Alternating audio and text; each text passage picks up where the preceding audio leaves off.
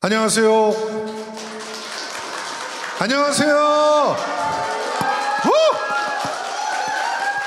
네, 이렇게 현장 사운드가 좀 들어가야 공개 방송하는 맛이 나지 않겠습니까? 다시 한번 안녕하세요, 여러분.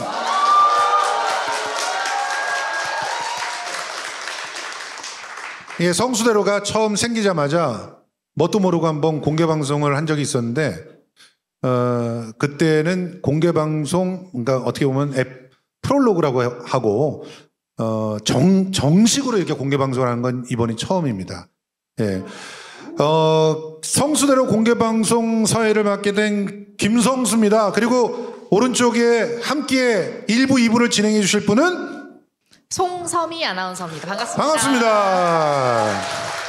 예. 아 근데 송소미 아나운서 오늘 네. 너무 아름답게 옷을 입고 오셨는데 저희 오늘 약간 커플룩 같지 않나요? 아 진짜 약간 그런 전혀 우리 짜지 않았는데 색깔을 파스텔 톤으로 맞고, 맞춰서 입고 왔어요. 화사하고 좋네요. 아유 감사합니다. 저는 사실 이 옷을 사놓고 처음 입어봐요. 오. 공개 방송을 위해 준비하신 거예요, 거의? 저희 아내가 이 옷을 사줘놓고 네. 딱 입은 걸 보더니 안 되겠다. 그거 입고 나갔다가는 도대체 시사평론가인지 뭔지 예, 전혀 섭외가 안 들어오겠다 그래가지고 못 입다가 오늘 처음 입었습니다. 어떻습니까? 아, 너무 예쁩니다. 괜찮은가요? 예. 예, 반갑습니다. 자, 오늘 첫 번째 이 1부를 열어주실 분은 어, 김성수하고 너무나 단짝이고 어, 정말 어, 함께 방송 처음 시작할 때부터 온갖 굳은 시간대에 심지어 새벽 1시에도 방송을 같이 연결해 준 최요한 평론가입니다.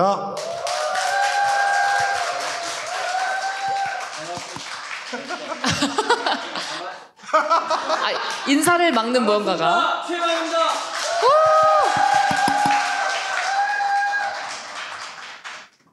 네, 마이크가 거부를 하네요. 이거 원래 우리 최요한 평론가가 목청이 굉장히 좋거든요. 네. 그래가지고 어, 오늘 반드시 노래를 한번 그냥 무반주로 시켜보려고 합니다. 어, 기대, 기대해도 될까요, 평론가님? 말씀이 없으신 거 보니까 오케이를 하신 걸로. 아, 아, 아. 예. 자, 다시 마이크 한번 테스트 한번 해야지 먼저. 다시 한번 인사드리겠습니다. 저 시사 아, 평론 활동을 하면서 정치와 경제 그리고 북한 문제 같이 연구하고 있습니다. 최요한입니다. 뜬금없이 갑자기 노래예요. 네. 아 그래도 뭐 3.1절 노래 정도 알고 있는지 한번 3.1절 노래 시키면 안 되고요. 제가 그 참여연대란 시민단체에서 회원 노래 모임인 참 좋다 12월 달에 그 정기 공연이 있습니다. 예. 참 좋다 멤버로 이제 노래를 하고 있습니다. 그래서 그거 알고 시키려고 하는 건데 갑자기 이렇게 부르면 그 우리 김성수 평론가 맨 처음 유튜브 이렇게 시작한다고 할 때 걱정이 많았어요. 그때 공개 방송을 어디 어디서 했죠? 저 동대 쪽에서 네, 했었죠? 동국대 네. 옆에 있는 그 모 건물에 그 노천에서 걱정이 아, 노천에서, 그땐 노천이었는데, 네. 지금은 이렇게 좋은 곳으로. 걱정이 엄청나게 많았는데 그 사이에 우리 김성수 TV를 사랑해 주신 여러분들 덕분에 이렇게 발전했습니다. 이 모든 공은 우리 여러분들한테 있으니까 여러분 스스로 자축하는 박수 한 번 더 쳐주세요. 아 근데 그때도 나와서 토크 네, 손님을 했었죠. 네, 저 걱정이 이만큼 차가지고 했었는데 예, 이제는 좀 마음을 조금 내려놓을 것 같습니다. 아 그때에 비해서 머리 숱이 굉장히 많아지셨어요. 자랐죠. 예. 철든 것처럼 자랐죠. 가발 얘기하지 말라 그랬지. 역시 찐친이네요. 네. 아, 자, 어, 오늘 사실 최현 평론가랑 얘기해 보고 싶은 게 오늘 3.1절 기념식 있잖아요. 네. 기가 막히지 않았습니까 오늘? 정말 충격과 공포의 기념식이었습니다. 예. 그래서 기념사가 이제 일본이 예, 이전에는 우리를 갖다 침탈한 그런 어, 나라였는데 이제 대한민국의 든든한 파트너가 됐다라고 윤석열이 얘기를 했어요. 네. 이 인식에 대해서 최현 평론가님 어떻게 생각하십니까? 어, 이제 워낙 대한민국이 이제 다이나믹하지 않습니까? 하루 걸러서 무슨 일이 터지고 그런 일이 터질 때마다 깜짝깜짝 놀라는 게 이제 내성이 된 것 같아요. 그런데 3.1절 날 독립유공자 후손들과 그 관계자분들을 모아놓고 일본과 잘 지냅시다라고 얘기하는 게 정상입니까? 미친 거죠? 예. 뭐 방송에서 또 이런 얘기한다. 3.1 운동 이후 한 세기가 지난 지금 일본은 과거의 군국주의 침략자에서 우리가 보편적 가치를 공유하고 안보와 경제 그리고 글로벌 어젠다에 협력하는 파트너로 변했다라고 여러분은 생각하십니까? 아니요.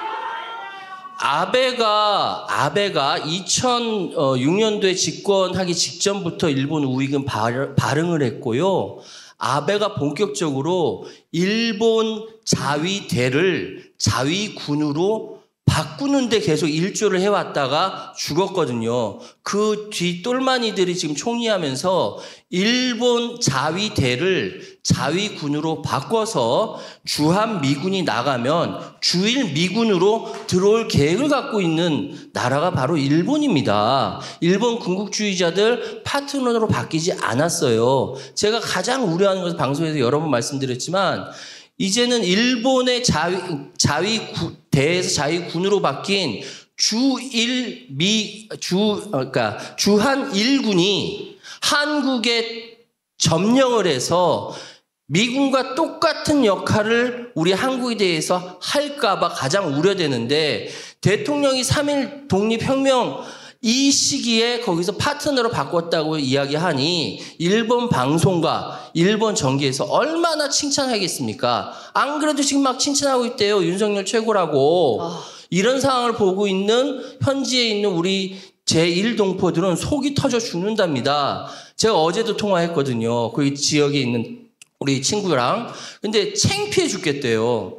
일본에서 대한민국 대통령을 칭찬할 때마다 창피해 죽겠답니다. 그래서 오늘 그 독립선언 문이라고 계속 거기 중간에 뭐 자유라는 걸 그렇게 많이 강조하다. 또 강조해. 지겨워 죽겠어. 자기들만의 자유야. 그러나 거기서 단 한마디도 자주라는 단어는 없었습니다. 맞아요. 예. 자주단이라는 단어가 한마디도 없었어요. 이 상태에서 그대로 지금 이어져 내려오는 친일파와 이어져 내려오는 친외세와 함께 기득권 세력들이 같이 쥐고 있는 그것을 오늘 뭉쳐가지고 이야기한 것이 3일 뭐 무슨 무슨, 무슨 문이라고 해야 될지 모르겠는데 하여튼 대통령 입에서 나온 말이라고 저는 생각합니다. 말이 아니라 저는 오물이라고 생각합니다. 오물. 네. 이 상황을 저는 어떤 상황이랑 비슷하다고 생각하냐면 정순신 아들한테 학폭 피해를 당한 어? 그 피해자들을 앞에 두고 자 이제는 어, 이 친구가 어, 너랑 파트너가 됐으니 잘 지내 라고 얘기하는 거랑 똑같아요. 사과했습니까? 그 애는 여태껏 피해자한테 공식적으로 사과한 바가 없어요. 그리고 사과에 따른 마땅한 또 책임들을 그 이후에 진행을 했습니까? 그거 그런 행위를 하는 게 아니라 소송을 했어요. 소송을 하고 자기는 어, 어떻게 점수를 따고 학사 행정을 입시 행정을 방해했는지 모르지만 서울대 철학과에 들어가서 심지어 지금 공부하는 과목들을 보면 로스쿨에 가기 위한 준비를 하고 있다는 거예요. 그럼 걔가 또 검사가 될 수도 있어요. 그 친구가 이렇게 말했답니다. 검사는 뇌물 받기 위해 태어난 사람. 예. 아, 그 친구가 그렇게 얘기했나요? 그렇죠. 지난 판사 있으면 판결은 거저 먹지요. 예, 요런 요런 얘기를 했다는 거예요.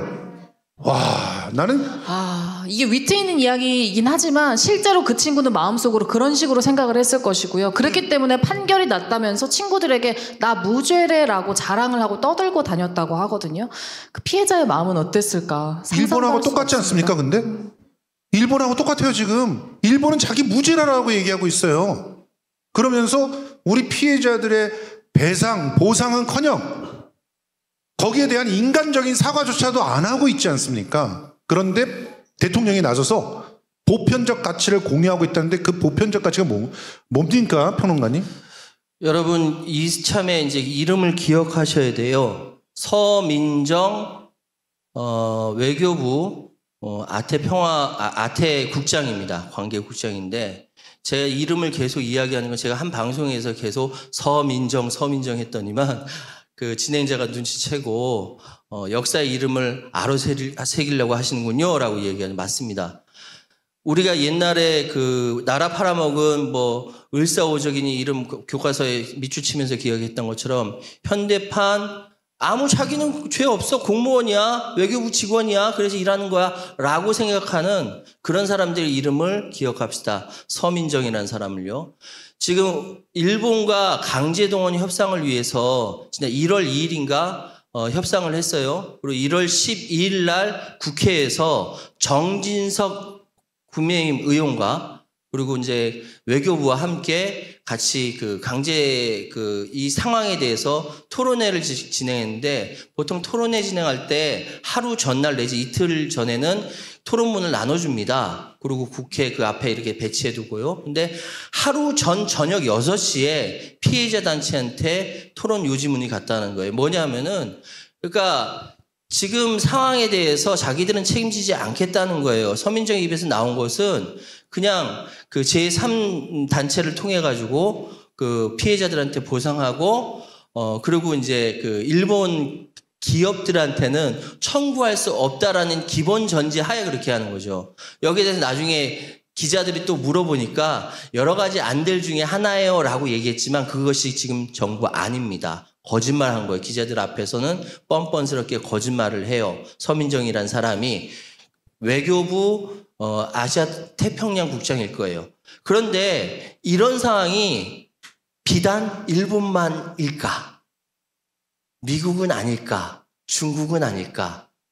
저는 기본적으로 어, 저번에도 말씀드렸습니다만 전 친일파 많아야 된다고 생각해요. 예, 친미파도 많아야 되고 뭐 친중, 친러, 친부, 친 주변 우리나라를 중심으로 해서 주변에 친하게 지내야 돼요. 그런데 단 하나 반민족적인 친일파, 반민족적인 친미파, 친중, 친러, 친부 마찬가지. 반민족적인 행위를 하는 사람들에 대해서는 용서할 수가 없습니다. 왜? 우리가 이후에 그래서 70년 분단 기간 동안 얼마나 고생을 많이 하고 있는 그 상황이잖아요.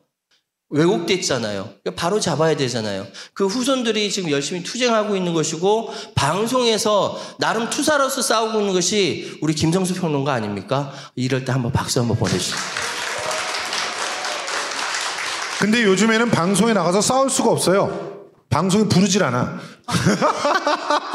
그래서 에, 김성수 TV에서 이렇게 얼굴을 뵙고 있습니다. 심지어는 박근혜 때는 그래도 종편의 일부와 어, 보도 치- 채널까지는 나갈 수 있었어요.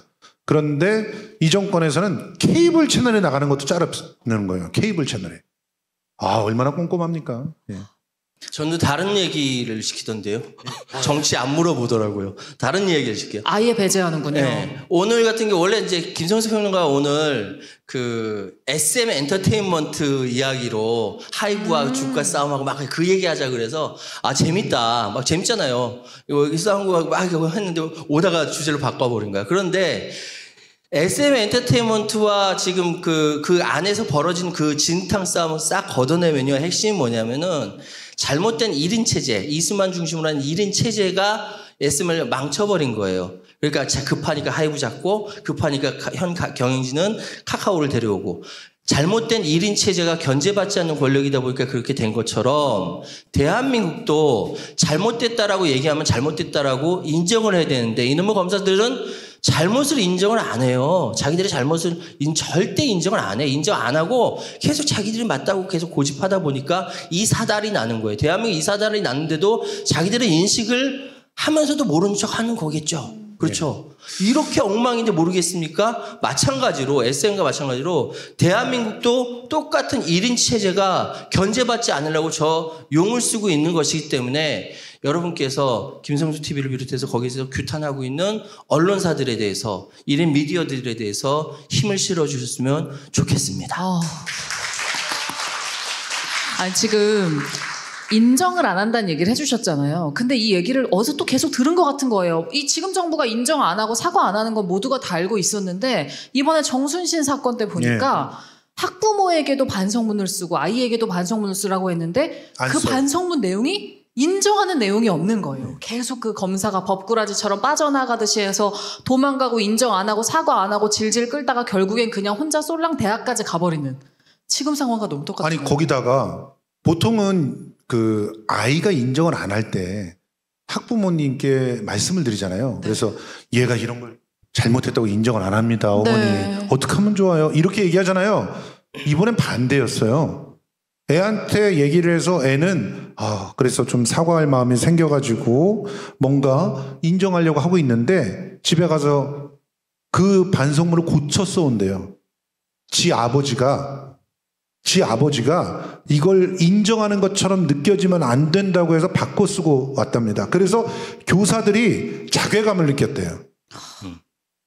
내가 학교에서 아이들을 가르치는데 부모들이 저렇게 말도 안 되는 그런 그 부인들을 하니까 이제는 학교에서 교육이라는 게 먹히지 않는다는 것을 느꼈다는 거예요. 음. 그거를 지금 여러분들 아마 보셨을 거예요. 그 교사의 진술서. 거기에 그대로 적혀 있습니다. 아이가 집에만 갔다 오면 인정하는 모습이 달라진다. 그 여러분 그 우리 흔히들 이제 정치하는 사람들이 이야기하는 언어 중에 유감입니다라는 단어가 있어요. 네. 유감입니다. 예. 유감은 사과일까요, 아닐까요? 아니죠. 절대 아니죠. 그거는 가결일까요? 부결일까요? 자, 그 우리 보통 사람들은 뭐 실수를 하더라도 하면 아유 죄송해요 잘못하셨 제가 잘못했습니다라고 얘기하거든요. 그렇지 않습니까? 버스 타고 가고 지하철 타고 가다가 옆 사람 잘못 발 밟아서 아유 죄송합니다라고 하잖아요. 근데 거기다 대놓고 저 유감입니다라고 해보세요. 어떤 어떤 욕이 돌아오나 유감이라는 것은 어, 상황이 잘못된 거에 대해서 안타깝게 생각한다 정도예요.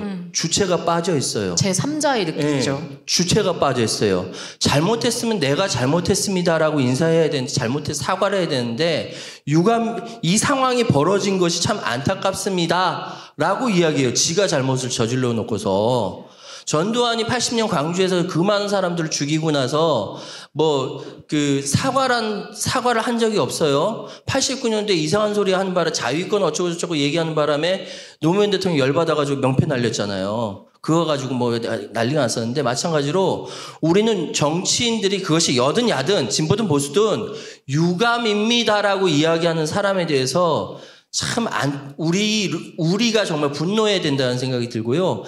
방금 이야기했던 그 정순 그 정순신 아들 그 네.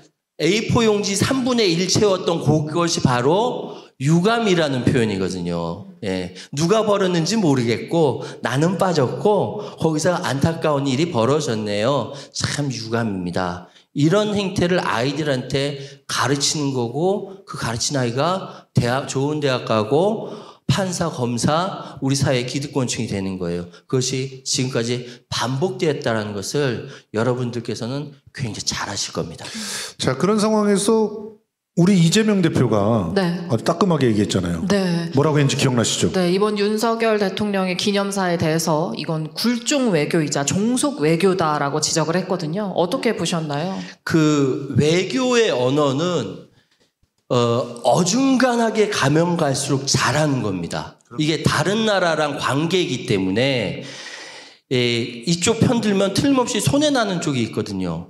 이쪽 편 들면 또 다른 쪽에서 섭섭해하고. 근데 외교적 언어, 외교적 수사라는 이야기가 많이 나오는 이야기는 한 듯, 안 한 듯, 그러나 들린 듯. 뭐 이렇게 얘기해야 잘하는 외교예요. 즉, 미국에도 치우치지 않고, 러시아, 중국에도 치우치지 않으면서, 우리, 거기서 핵심은 뭐냐면, 그렇게 이야기하면서 우리 이익을 가져오는 거. 어떻게 하는 것이 우리 이익일까?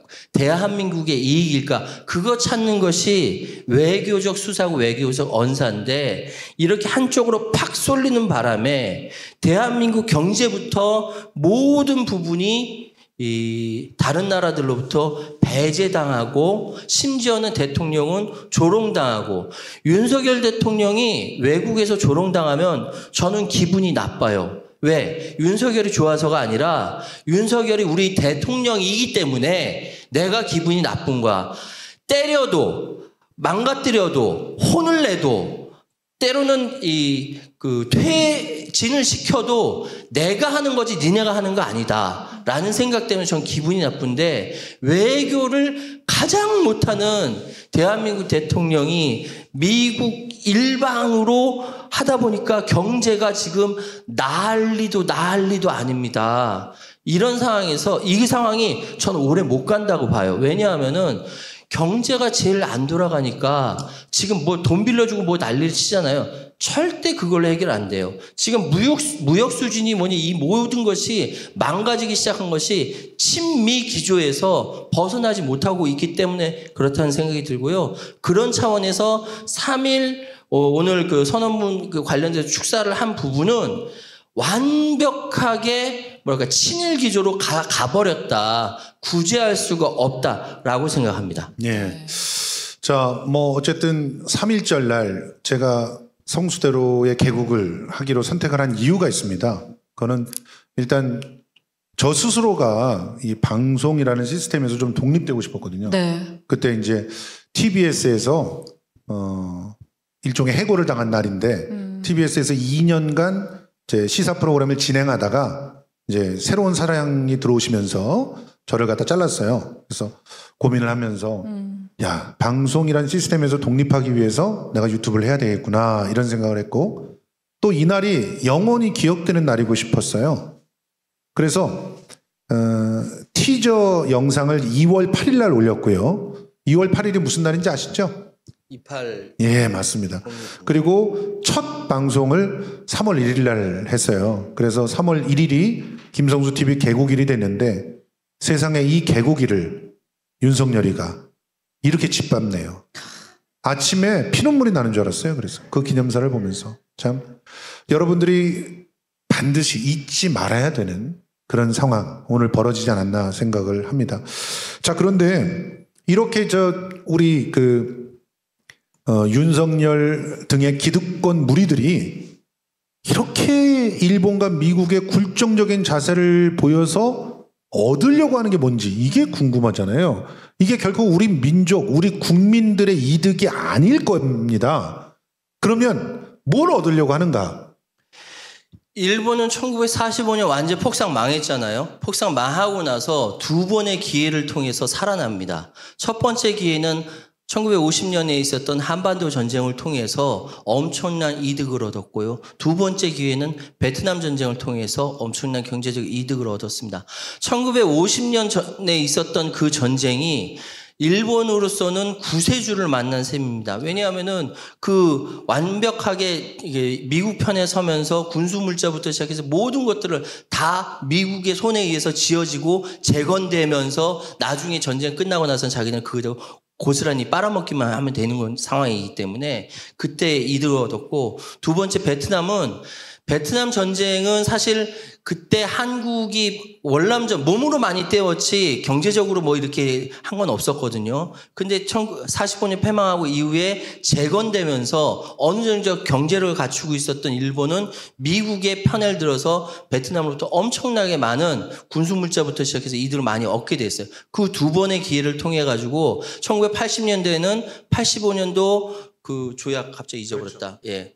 그 85년도 전까지 엄청난 세계 2위권까지 올라갔는데 그 이후로 고꾸라지기 시작하는 겁니다. 미국의 압박에 의해서 고꾸라지기 시작하면서 지금 잃어버린 30년 이야기하고 있잖아요. 저는 미국, 일본의 지도자들은 다시 한번 과거의 영광을 되살리기 위해서 한반도 전쟁을 획책한다고 봐요. 그래서 한미일 이 한미일로 군대 연습하는 이유가 바로 그겁니다. 지금은 이제 북이 미사일을 쐈을 때 동해상으로 공해상으로 미사일을 쐈을 때 일본은 언제든지 꼬투리를 잡아서 일본은 또 미사일을 북으로 날릴 수가 있어요. 법으로 그렇게 돼버렸어요. 법을 그렇게 바꾸겠다는 거죠, 지금. 아, 바꾸겠다는 거죠. 이렇게 되면은 언제 한반도에서 전쟁이 일어날지 모르고 한반도에서 전쟁이 일어나게 되면은 남북이 싸우게 되는 거예요. 일본이 싸우는 게 아니야. 일본은 후방에서 자기들은 또다시 병참 기지 하겠다. 군수 물자 팔아먹겠다라 얘기하고 있는 것이고 한반도에서 전, 불바다가 되는 것이죠. 이거를 노리고 있다. 이게, 이게 예전에 2005년도, 2006년도에 군국주의자들이 일어나서 군대를 만들겠다라고 얘기했을 때 걱정했던 바인데 그것이 벌써 지나서 20년 가까이 지나서 이게 현실화되고 있는 상황이다. 그걸 보고 있다. 아무래도 이 상황이라고 한다면은 미국은 일본에 대- 에 대해서 훨씬 더 많은 어, 지원, 지지 뭐 이런 것들 많이 하지 않겠습니까? 되게 좋아할 거예요. 미국은 아, 일본은 미국으로부터 지원받는 것들이 많아지기 때문에 더 좋아하고 그걸 계속적으로 활용할 거라고 생각합니다. 예. 저는 이 말씀에 너무 갑자기 공감이 되는 부분이 오늘 3.1절 기념사를 하기도 했지만 어제 윤석열 대통령이 혹시 누구를 임명했는지 아시나요? 김영호 교수라고 뉴라이트 계열의 교수고요. 이분을 지금 통일위원회 에 임명을 했습니다. 그 아무도 모르게 조심스럽게 통일부의 뉴라이트 계열의 인사를 심어 놨고요. 그리고 3.1절에는 이런 망발을 했습니다. 그 뉴라이트 마- 아, 너무 재미가 없어진 얘기 말할까 짜증 나실 것 같은데 간략하게 말씀드릴게요. 뉴라이트는 노무현 정권이 이렇게 그 집권하고 나서 역사에 대해서 새로운 해석들이 나오고 계속적으로 바로 잡는 과정이 있다 보니까 거기에 반발해서 나온 사학계의 일종의 또라이들이죠. 그 친구들이 나중에 헤게모니를 주게 되고 헤게모니를 주면서 이렇게 그 권력까지 주게 되니까 어, 취해서 그래요. 권력이 취해서 뭐든지 다 할 수 있다고. 솔직히 여러분들이 잘 모르시는 거가 있는데 뉴라이트의 주축이 옛날 주사파들입니다. 수사파였어요. 주사파예요. 김일성 그 지령받고 움직이던 운동권의 골칫덩이들이 있었거든요. 걔네들이 갑자기 오갈 데가 없어졌거든요.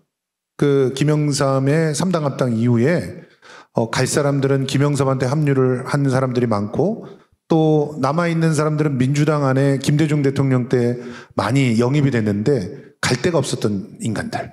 이 인간들이 결과적으로 뉴라이트를 만들어서 이명박한테 붙은 사건. 그 사건이 어, 일본이 개입을 하면서 이명박을 대통령 만들던 그 시기에 벌어진 일입니다. 그것에 명분이 있어야 되는데 그 학술적 명분을 이제 실용주의라는 그런 미명하에 어, 일본의 우익들 논리를 그대로 받아들여서. 그러니까 이들은 어, 주체적으로 사고할 능력이 없어서 주사파가 됐던 거예요 오히려. 웃기죠? 주체적으로 사고할 능력이 없어서 예. 누가 교실을 내려줘야 돼 그래서 주사파가 됐던 거예요 근데 주체 사상 얘기를 하고 있었다니까 그리고 나서 이제는 어, 그 내용들을 전부 일본 우익이 돼주고 있는 겁니다. 일본 우익의 사상을 고스란히 베껴서 내고 있는 그 자들이 지금 윤석열 정부의 주축이라는 사실 기억을 하셨으면 좋겠는데요. 그래서 지금 저 저는 어떤 얘기를 좀 드리고 싶냐면 이런 식으로 지금 그 기득권이라고 하는 작자들은 나라를 팔아먹던 국민이 어떻게 되든 지 혼자 먹고 살면 되는 거예요. 아니 생각해 보세요. 운동권 하다가 망했어. 정치를 못 하게 됐어. 아니 그러면 가서 농사를 짓고 살 수도 있고 얼마든지 자기가 나름대로 사지 멸종한데 뭘 못해 먹게 살렸어요. 근데 왜 일본 우익들의 사상을 베껴 갖고 와가지고 저 짓을 하고 있고 있어?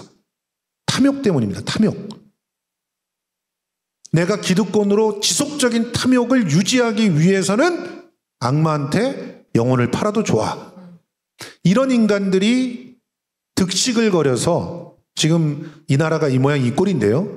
그 탐욕의 화신들에게 피해를 입은 어, 사례가 어, 저희 김성수 TV에서 연대하고 후원하고 또 지지하면서 어, 음, 다시 이렇게 새 출발을 한 분이 있어서 그분을 깜짝 게스트로 모시면서 그분 이야기를 한번 들어보는 시간을 가져보려고 합니다. 자, 이제는 그 회사 이름이 어떻게 바뀌었죠? 예? 얼음땡으로 예, 이전 슈퍼마린 그리고 지금은 얼음땡의 대표 이성열 대표님 모시겠습니다. 박수. 예.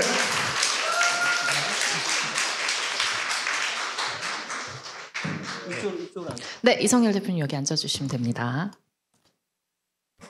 네 안녕하세요. 예, 인사 말씀 부탁드립니다. 안녕하십니까 슈퍼마린 이성결입니다. 반갑습니다. 아유, 진짜 얼굴이 너무 좋아지셨어요. 오늘 신경 썼습니다. 아 성수대로를 위해서 좀 신경 써주신 건가요? 예, 김영수일 아주머니가 아, 신경 위- 써주셨어요. 오 헤어 메이크업까지 감사합니다. 자, 우리 이성열 대표는 여러분들 다 아시죠? 어, 여러분, 어, 어, 여기서부터 얘기를 해야 될 것 같은데, 농심서부터 얘기를 해야 될 것 같은데, 맞습니다. 네. 친일 기업 예. 농심도 나오고 선라이즈 FNT라는 평택항의 고관세 농산물을 그러니까 관세 높은 것을 이제 빼먹는 회사가 있었어요. 그러니까 친일 기업이자 사실 뿌리가 일본인 농심이라고 하는 기업이 어 우리 서민들의 에, 그 그야말로 골수를 빨아먹는 그런 기업 하나를 만들어 놨는데 그 기업이 에, 그 선라이즈라고 하는 기업입니다. 이 선라이즈라는 기업은 어떤 걸 하냐면 외국에서 수입 농산물을 끌어오는 건데 그래서 팔면 좋잖아요. 근데 그 짓만 하는 게 아니라 그 농산물 가격을 장난치고 아 거기서 관세도 빼먹고 그리고 거기서 남는 이득은 검사들 뽀찌로 챙겨주고 이러던 짓을 하던 그런 기업 아니었습니까? 예, 맞습니다. 그러니까 중국에서 콩나물콩, 녹두, 팥, 어, 고춧가루, 마늘, 생강 이런 것들이 이제 우리 농민들을 보호하기 위해서 엄청 높은 관세를 매깁니다. 관세가 뭐 4배에서 많게는 10배까지 되거든요. 그러면 한 컨테이너에 한 2억 정도 돈을 만들 수가 있습니다. 그거를 한국으로 가져와서 이제 가공하는 척 하면서 수출을 해야 되는데 수출은 안 하고 실제로는 가공을 안 하고 원물을 유통해서 관세를 빼먹었습니다. 그렇게 되면 우리 농민들은 농사를 지어도 돈을 벌 수가 없어요. 근데 더 문제는 뭐냐면 식약청과 식물금역소, 그 관세청 수익 감독 기관이라 하죠. 그러니까 낙 농약, 뭐 낙하두륨, 중금속이나 농약 성분이나 이런 것을 검사를 해야 되는데 검사를 제대로 안 하고 유통이 되었다는 겁니다. 그 돈을 만드는 방법이 여러 가지가 있겠지만 뭐 정치인, 검사 몇몇이 이런 짓을 해서 우리가 먹고 있는 이제 음식들이 윤석열이가 말하던 부정식품이 이런 거거든요. 네. 예, 국민들 건강을 해치고 농민들 소득을 해치면서 돈을 만들었는데 그거를 제가 공익 신고한다는 이유로 철저하게 짓밟혔거든요. 그래서 자신들이 빼돌려 놓고 그 빼돌린 걸 이성열 대표가 빼돌렸다고 뒤집어 씌운 뒤집어 거군요. 씌웠어요. 아. 뒤집어 씌워서 검사들이 그거를 찍찍찍 만들어 가지고 구속영장을 막 쳐버려. 그러다가 그러니까 구속영장 실질심사 받았다 그러면 그냥 구속되는 거예요. 영장이 아무리 개판이라도. 사실 그냥 검사들이 작정하고 한 명 죽여야지 싶으면 죽는 거잖아요. 그냥 죽는 거예요. 그런데 이 선라이즈의 그 장난을 칠 때, 선라이즈 등등이 장난칠 때 뒷배가 누구였죠? 아주 유명한 이름이 나오지 않습니까? 어, 윤석열 처고모부 장진호, 김혜선 목사는 뭐 들어보셔가 아실 거예요. 네. 극우 유튜버들 후원했던 사람인데 2011년 봄에 제가 농협에 이제 생강 종자를 납품을 합니다. 근데 윤석열 처고부 장진호가 생강 거상이거든요. 수입업자들한테 이제 그거를 사가지고 농민이나 농협에 이제 납품을 하는데 그 사람하고 이제 첫 거래가 안 좋았어요.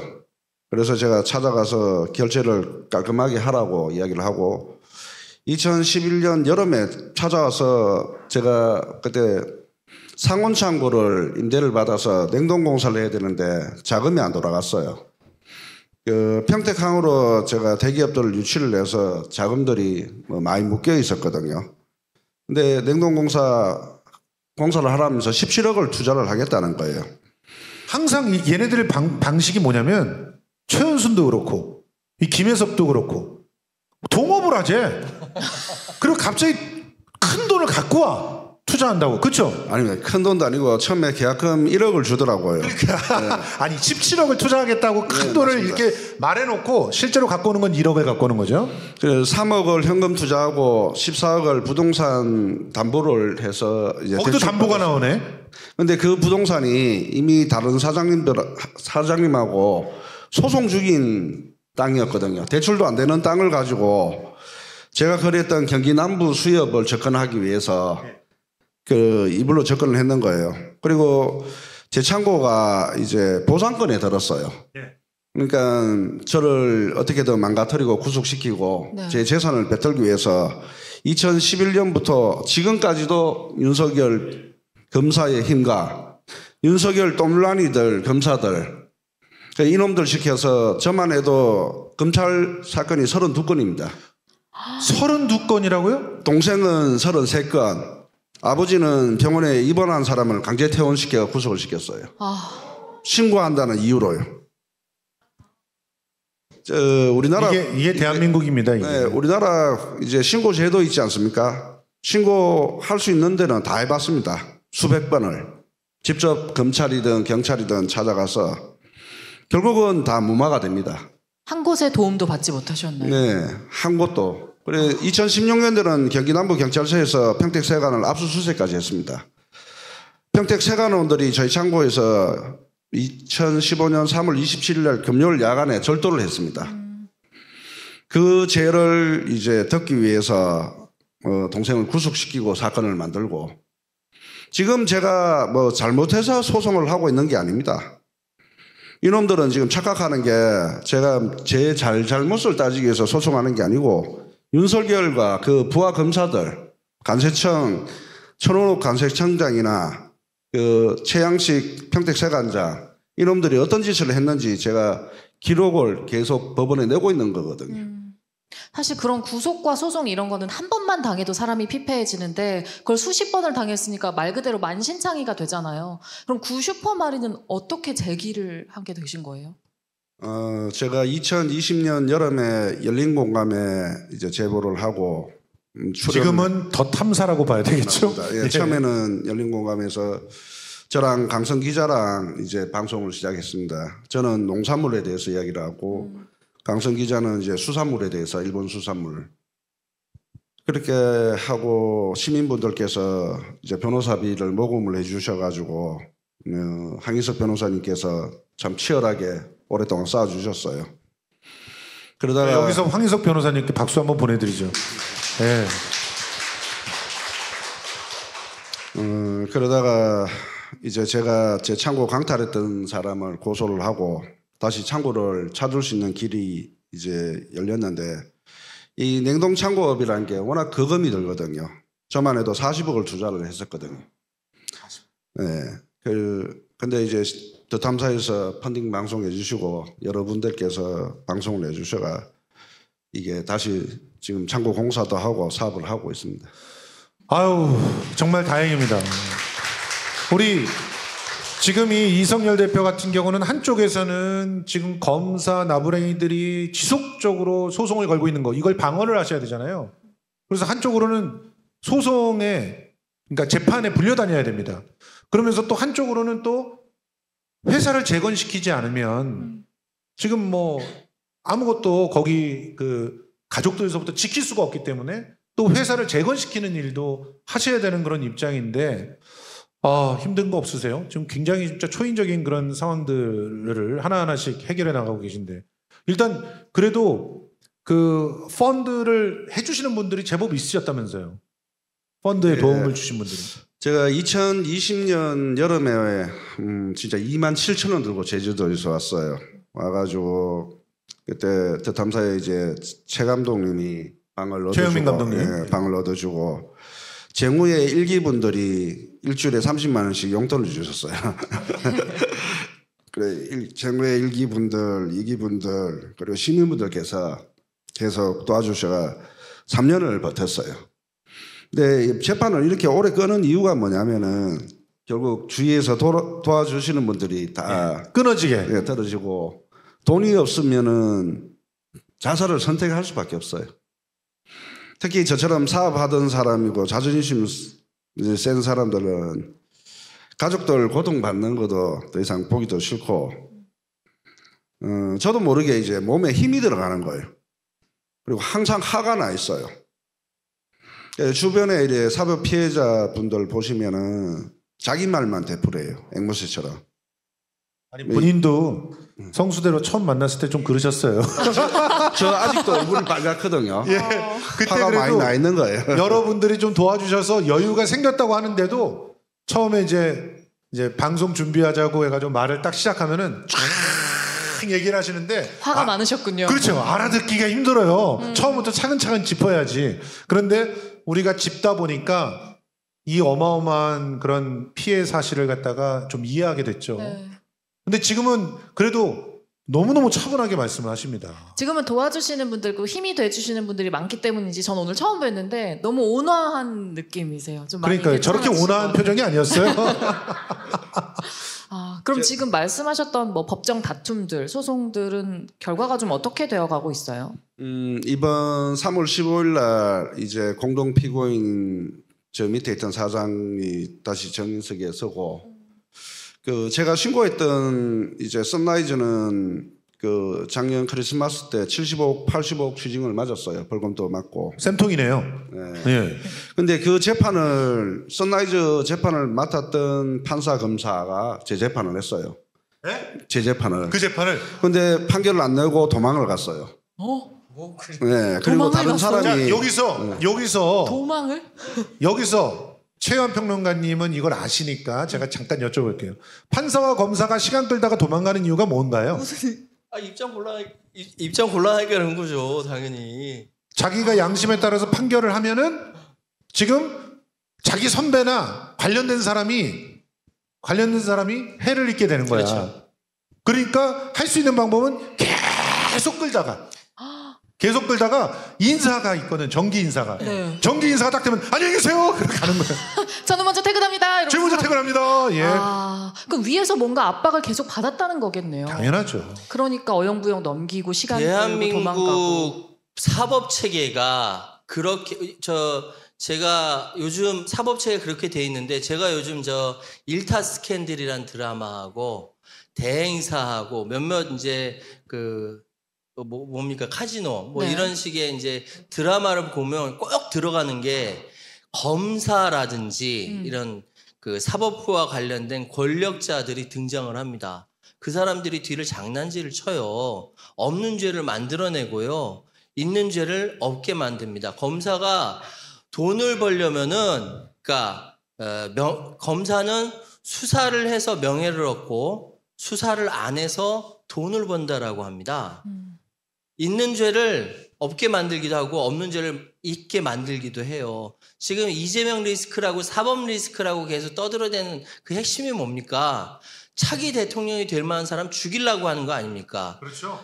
사법 권력을 개인의 사적 이익 이제는 윤석열이 집권했으니까 그 뒤로 한동훈이 집권해야지 라는 그런 사적 이익에 복무시키려고 없는 죄를 있는 것처럼 만드는 게 사법 권력이고 그 피해자가 이 앞에 있는 겁니다. 사실은 그런 사례가 지금- 굉장히 많아요. 사실은 지금 우리 이성열 대표 같은 경우는 김건희 고모 고모부 배불리는 작전 그 작전의 희생자예요. 음. 그러니까 이게 여러분 윤석열의 정의라고 하는 게 뭡니까?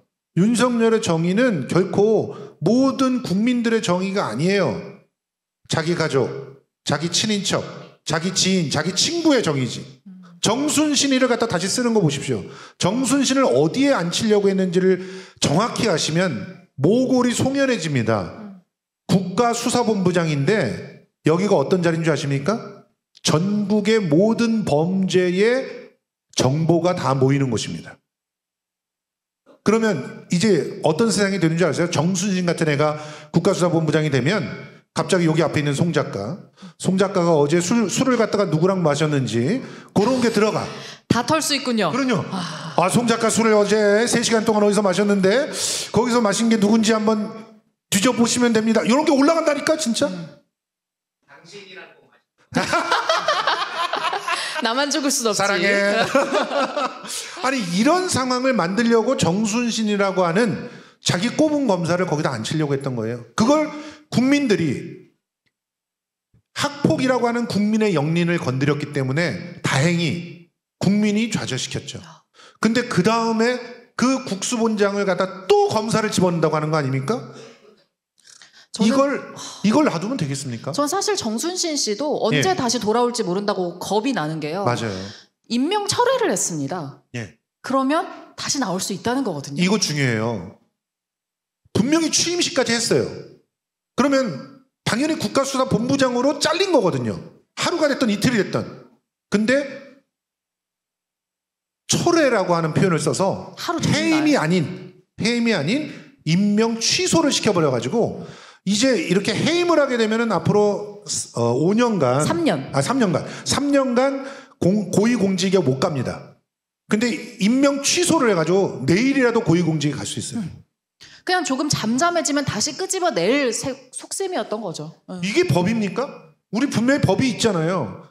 취임식까지 했잖아요. 그런데 그거를 해임 취소라고 언론들도 다 똑같이 써줍니다. 이런 일을 버젓이 벌이고 있는데 그런데 그걸 감시하고 비판할 수 있는 도구들이 다 개점 휴업을 하고 오히려 뒤로 줄대고 있어요. 아마도 오늘도 언론사 모모 사장들은 뒤에 에, 모처에서 이 검사 권력들과 만나서 에, 양주병을 기울일지도 모릅니다. 그런 걸 경찰이 최소한 국수본부장에 경찰이 들어갔으면 감시를 하거든요. 그러면 자기들끼리 견제를 할 거 아닙니까? 경찰에 그래도 수장이랑 뭐 이런 사람들을 막 털라 그러면 가서 자 어제 어, 서초동에 어디서 누구랑 누구랑 만나셨잖아요. 그러지 맙시다. 이러면서 서로 견제가 되는데 그 견제 자체를 없애려고 하는 그 시스템의 조정을 윤석열이는 과- 과감히 하고 있다. 이 사안을 우리가 정확히 지켜봐야 된다는 거고 지금 이성열 대표 같은 경우는 그런 감시가 마비되어 있는 평택항이라고 하는 이 공간도 참 웃기잖아요. 여기는 완전히 아사리판이었던 거예요. 관세청, 검찰, 그것도 지청이잖아요. 지청. 맞습니다. 예. 그 제가 한참 이렇게 평택세관에서 압수수색 역장도 없이 네. 저희 회사를 압수수색하고 할 때가 2013년, 14년도거든요. 그때 유일준이가 지청장으로 있었습니다. 저뿐만 아니라 저랑 비슷한 중소기업 사장님들, 어, 뉴스타파에도 소개됐는데 회사를 뺏기고 어, 검사와 관세청 직원들이 이런 식으로 불법을 하는데 제 사건에 이제 윤석열이가 관련이 되어 있다고 자꾸 말씀드리는 거는 2016년도에 경기 남부 경찰서에서 이제 관세청과 평택세가 국세청 그리고 선라이즈가 장기간 이렇게 대규모 밀수를 할 수 있는 거는 뒤에 큰 세력이 있다고 판단하고 그 세력을 잡기 위해서 제가 1년간 수사 협조를 했거든요. 근데 끝까지 수사를 하겠다는 사람들이 이제 뭐 바로 사건을 덮더라고요. 검사가. 그러니까 양심적인 경찰들이 있었어요. 맞습니다. 근데 그 경찰들이 어떻게 됐다고요? 음, 파출소로 이제 자천됐죠. 좌천이 돼요. 어, 그래서 이게 김건희 그 수사 검사들이 좌천되는 거랑 똑같습니다. 얼로 사라져 버려요. 그리고 관세청에서 한민 감찰 과장이 이제 또 선라이즈와 평택세관 직원들 유착 그거를 또 조사를 했어요. 어, 좀 많이 밝혀지려고 하니까 급하게 이제 사건을 만드는데 최순실 박근혜 일당 쪽하고 이제 윤석열 초고무부 일당 그래서 2017년도에 생각 무단 반출 사건을 만들어요. 그래서 제가 오랫동안 신고했는 방법 그대로 저를 그런 놈으로 만드는 거예요. 어, 저희 창고는 이제 관리 대상 창고로 밀수를 검사하는 창고예요. 제 창고 2012년부터 지금까지도 365일 24시간 CCTV가 돌아갑니다. 평택 세관 하물계에서 그걸 보고 있어요. 요거 있잖아요. 진짜 중요한 얘기입니다. 대한민국이 시스템은요. 세계 최고예요. 대한민국이 24시간 CCTV가 돌아가게끔 창고들을 다 관리하고 있고요. 그리고 전산으로 배가 들어올 때부터 어느 창고에 어떻게 가서 얼마가 있고 지금 얼마가 나갔는지를 다 알 수 있잖아요. 그렇죠? 제가 재판 받고 있는 걸 판사나 검사한테 제가 분노를 많이 했던 게 정고로 이제 재판을 해야 되는데 그냥 제 밑에 있던 사장이나 아니면 이상한 녹음을 해와서 그걸 증거라고 엮습니다. 그러면 저는 이렇게 이렇게 조작이 되었고 이렇게 자 농심 자회사 태경 농산에서 BL이라고 물건에 이제 임자가 주인이 누군지가 붙어 있어요. 우리 택배 받으면 송장 붙어 있지 않습니까? 송장 네네. 송장 번호처럼 BL 넘버가 있는 거죠. 그거를 검사가 참고 서류로 정보도 아니고 제출합니다. 조작을 했어요. 조작을 해서. 네. 그래서 조작했다고 제가 또 이야기를 하면 그 이야기는 안 해요. 그러니까 하나은행이나 우리은행, 뭐 은행들이 장난친다면 처음에 변호사님들이 안 믿어요. 그래서 제가 딱 장난쳤다고 몇 개를 집어내요. 그러면 그때부터 믿어요. 권력자들이 은행도 마음대로 할 수 있고 수익 감독 기관이나 국가 권력 기관들을 마음대로 할 수가 있습니다. 그거를 중소기업이나 아니면 자신들의 걸림돌이 되는 사장들을 사냥을 할 때 예. 2016년도에 선라이즈가 땅을 이제 불법 재임대를 놨습니다. 그게 이제 도이치모터스, BMW. 그 신고를 하고 제가 2017년도에 또 체포영장도 떨어지고 참 어, 윤석열 처일가가 다 관련이 돼 있고 무엇보다 어, 윤석열 처일가가 무슨 힘이 있겠습니까? 예. 윤석열 본인이 제 사건에 관련이 많이 되었다는 이야기를 하면 그러면 보통 저도 메이저 뭐 언론사들 많이 만났거든요. 방송국도 그렇고 신문사들. 그럼 증거를 보여달라면 아주 간단하거든요. 저는 국민신문고에 증거를 다 남겼습니다. 최은순이 사이 윤석열한테 뭐 선라이즈 FNT에 대해서 그거를 뭐, 뭐 달라고 해가지고 신고했던 내용을 줬습니다. 백수로. 그것도 재판 과정에서 이제 밑에 있던 사장이 문자 카톡 내용을 제출했고요. 윤석열이가 중앙지검장일 때 그리고 검찰총장일 때 제가 무수히 신고를 많이 했습니다. 뭐 관세청장부터 해가지고 웬만한 데 신고를 다 했고요. 그렇게 신고를 하면 경찰에서는 간세청으로 넘깁니다. 예. 간세청에서는 다시 평택세관으로 넘깁니다. 어떤 기관이든 평택세관 직원들이 우리 회사에서 절도를 하고 나쁜 짓을 한다고 신고를 했는데 보란 듯이 각 기관들은 간세청으로 넘기고 간세청에서는 다시 평택세관으로 내립니다. 맞아요. 심지어 체포영장까지도 검사한테 이 체포영장 갖고 장난치지 말고 빨리 해소하라 하니까 저보고 평택세관에 전화를 해서 반, 반납을 하라고 이야기를 합니다. 이런 겁니다. 이런 게. 당해보면은 그게 어떤 느낌인지 두 형제를 어머니 앞에 세워놓고 재판을 합니다. 동생은 불법 구속을 시켜놓고 재소복을 입혀놓고요. 두 형제를 같은 날에 죄를 만들었어요. 근데 저는 뭐 집행유예 받으니까 너는 봐준다는 식인 거예요. 한 번만 더 신고하면 이제 그런 식이고요. 나중에는 건달까지 동원을 하더라고요. 당할 수 있는 거는 다 당했습니다. 그래서 저는 뭐 아쉬울 것도 없고 지금부터는 사업 열심히 해서 시민들께 약속했던 그 이자와 원금 갚아야 되고 그리고 뭐 시민들께 이렇게 돈 받았던 부분들을 어떻게든 보답하는 삶을 살려고 그러고 있습니다. 박수 한번 주십시오. 이성윤 대표님. 예. 제가 계약서를 가지고 왔어요. 예. 보증금 1액에 월 3,300만 원씩 이제 법니다. 우와! 아니 지금 그러면 새롭게 계약한 그 창고를 계약을 해서 네. 보증금 1억도 받으셨고 예, 월 3,300만 원씩 창고 사용료에 대해서 받습니다. 예 정말 너무 잘 되셨습니다. 아직 3월달, 4월달 공사를 해야 되고 제가 이제 아까 이렇게 평론가님 말씀 듣고 저도 뭐 일본 회사도 근무를 해봤거든요. 그리고 중국하고 무역도 많이 해보고 그 우리나라가 잘 살려고 하면은 음 물론 각 나라마다 잘 지내야 됩니다. 근데 이제 과거는 잊어서는 안 된다는 거예요. 맞습니다. 그 제가 니폰 이스프레스 그러니까 삼성하고 소니하고 LCD 이제 교육할 때 그 회사에 일을 했습니다. 니폰 이스프레스 밑에 이제 태상하고 삼령이라는 100명 100명 한국 회사를 또 자회사를 만들었어요. 근데 10개월 딱 되니까 본부장이 사장이 된다면서 퇴직금을 안 준다 하는 거예요. 예. 그래서 제가 그때 파업을 일으켜서 뭐 삼성에서 저한테 하루에 수십억 뭐 손해배상을 하니 많이 해가지고 제가 결국 뭐 파업을 좀 강성으로 해가지고 퇴직금을 다 받았어요. 받았는데 이제 저보고 그만두라 하더라고요. 예. 평택항에서는 제가 좀 성격이 좀 별로해가지고 다 압니다.